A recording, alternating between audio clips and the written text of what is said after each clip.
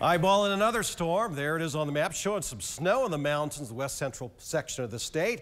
This one's coming in more from the west, which basically means, I think for Pocatello Falls, it'll be a little bit warmer than the last storm. So we're looking at a chance of rain if we see any precipitation at all. There is a remote possibility of maybe seeing some snow mixing with that rain along the bench areas, the Gate City, maybe down around the Gap, and certainly farther south. It will be all snow, and looks like Idaho Falls, Rexburg could see some snow, but liquid precipitation probably a better bet for us, at least down low. Now for the mountains, it's a different story, especially for the Tetons. They're under a winter weather advisory. The mountains around Jackson itself, anywhere from two to four inches of snow. This advisory goes in effect here in a, what about three hours or so, 8 o'clock this evening, we'll run until about 8 o'clock tomorrow morning. So if you're traveling, say Victor over the hump, Teton Pass down into Wilson.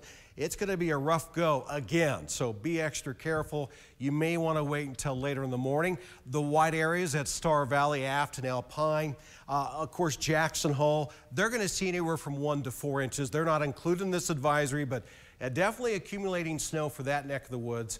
And for our mountains, we could see some accumulating snow as well.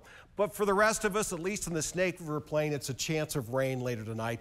And you can see why it'll probably be more rain than anything, with low temperatures staying well above freezing. 37 for low in Pocatello tonight.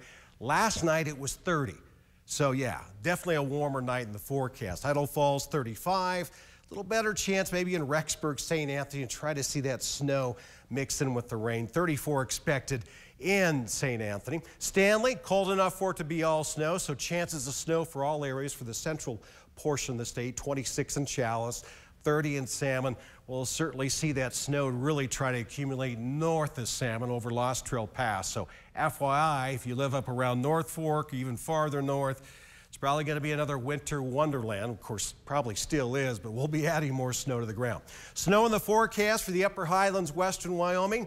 As you know, it doesn't snow evenly around here, so anywhere from a trace to an inch expected in Island Park uh, Driggs, Dubois, Jackson, Afton, one to four inches. Yellowstone, maybe over five inches by the time it's all said and done.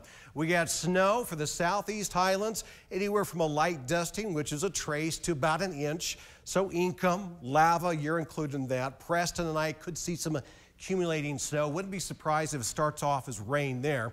And then tomorrow, a chance of that snow lingering in the morning. High temperatures still only in the 40s, still cooler than usual for this time of year. We got snow in the morning in the upper highlands. I think we'll see a little bit of sunshine though in the afternoon. We'll call it partly sunny, dry during the daylight hours, at least in the central mountains.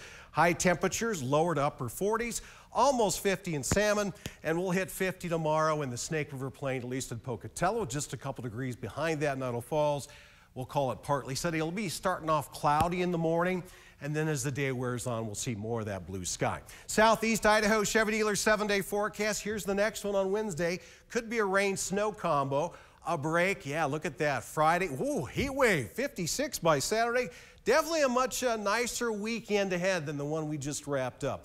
Teton area seven day forecast. We have snow tonight, tomorrow morning. More snow Wednesday, a break. Our next chance of snow could bring with it rain on Monday, but we're dry this weekend. So good weekend to be traveling for the central mountains. Same thing, wintry mix perhaps Wednesday and then dry weather as we finish off the week, finish off the month of October, as a matter of fact, last day of the month on Monday, a chance of rain.